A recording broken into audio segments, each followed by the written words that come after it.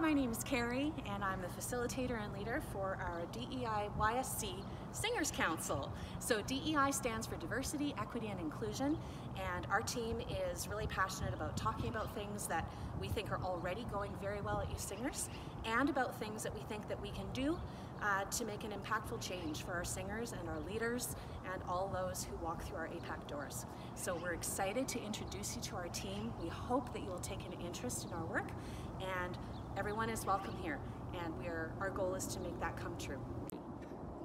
Hello, my name is Camelia. I sing in junior high, and I'm really happy to be part of the Singers DEI,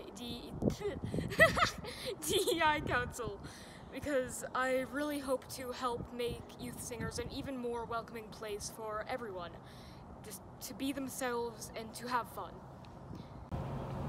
Hi, my name is Courtney. I'm a singer in Act 3 and something that I really enjoy about Youth Singers is how inclusive it is and how welcoming it is to absolutely everybody.